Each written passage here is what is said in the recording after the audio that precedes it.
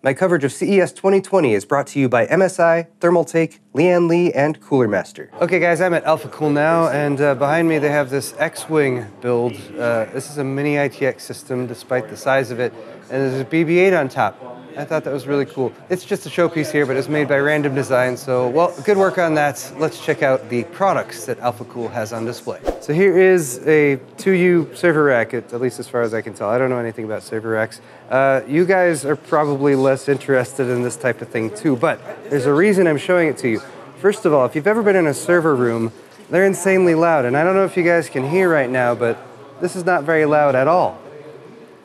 What we got in here is a 2990WX and four 2080 Ti's. These are all water cooled with these big old fat radiators here, industrial fans. So these, when they spin up to full RPMs, are really, really loud. But right now, they're in silent mode. So this is just looping Cinebench and OctaneBench in the background. Uh, and it's been going for a really long time. And basically, uh, they're hitting like 60 degrees max. Uh, right now they reset it so it's a 54 degrees max. That's insane to have that much going on with a server like this to have it that quiet. Um, so I don't know if any of you guys were in IT, maybe you're interested in a solution like this. But the reason we point this out is because the tubing in here, the fittings, the connection, uh, basically all the water cooling components need to be server grade. That means they need to not be prone to failure. And they're taking this same uh, build technology and quality and they're integrating it into products that you guys might actually be interested in, like the Eisbaer Aurora over here. So this has been refreshed. It's going to be available in 240, 280, 360, and 420 millimeter rad sizes.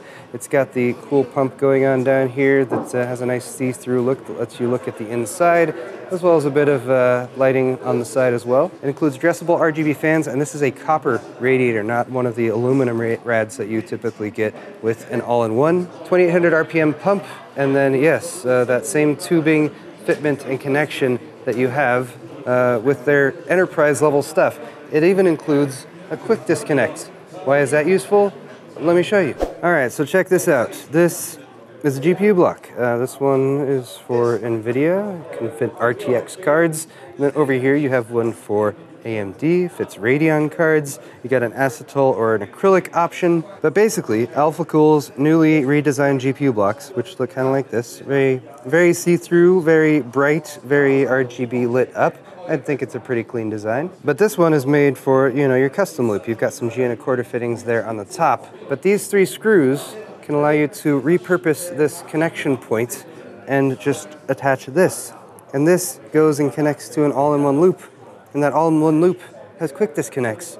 So you could add this to your graphics card. You could get the other CPU block that I just showed you, quick disconnect, connect them up to each other, and basically set yourself up with a custom loop using essentially all-in-one coolers. Oh, did I mention this unit here? Uh, it lights up uh, just green for NVIDIA for now and red for AMD, but the pump is also included in this. And then yes, to answer your question, you could remove this entire piece, and then you could add a little end connector there with G and a quarter fittings, and then if you wanted to in the future, you could go from a couple all-in-one coolers that you have connected up to a full custom loop. So for anyone who has considered water cooling, but you know, it's, it's a bit daunting, it can be expensive, there is not really an upgrade path because you typically need to set up an entire loop at once. But with these new Eiswolf Aurora GPU blocks, uh, you can get yourself up and running and then you could upgrade the loop in the future with a lot of flexibility. And I think that's pretty smart. Good design.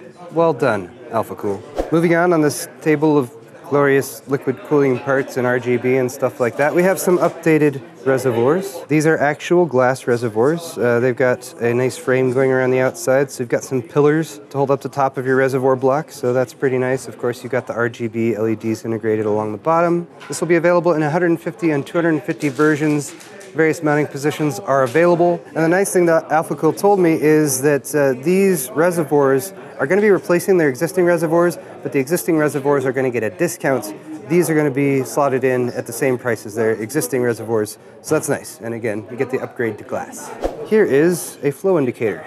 Eisflugel, it is being called. German. I, I, like attempting to pronounce German things. And whereas a flow indicator may or may not be useful to you, uh, this one actually has a practical purpose. So on the back you have connection points, and uh, you can monitor your flow rate. You can also monitor your liquid temperature, and that's a useful thing to go along with uh, what is often considered an aesthetic add-on to a water cooling loop uh, with the flow indicator. So that's nice too. check out these new Alphacool fittings. These are going to be their premium ones, uh, especially for use with PETG, which uh, can, according to what I've been told, uh, it can flex a little bit and it can also be affected by the pressure of the uh, O-rings that go inside. So they've redesigned this. Actually, Dave worked on this himself. So you got an inner O-ring down there at the bottom.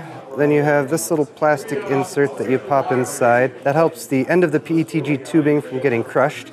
Then you've got this very thick O-ring that drops in there outside of that, providing a much better seal, uh, both on the fitting side as well as on the cap side.